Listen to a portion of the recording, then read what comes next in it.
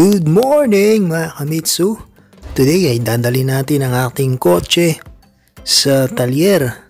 Ba naman kanina ay pagpihit ko ng manobela ay merong lumalagutok na di ko mawari kung nasaan. So speaking of talyer mga kabayan, alam nyo na yan, mapapadukot ka na naman sa malalim mong bulsa. So stay tuned! Tumusok. Ah, maluwag. Kailangan may quick yan. Hindi mo magagawa siya. Yan gagawin natin. Oo. Kaya pala ma... Ring nali ko ako napapansin ko eh na parang Ano, ah, pag. Yung ka, may narinig ka. parang ko eh. Ano na iba naman sakit yun. Velocity yun. Ah, velocity, CVT. Ah, C- C- CB joint. Yun ang sakit yun.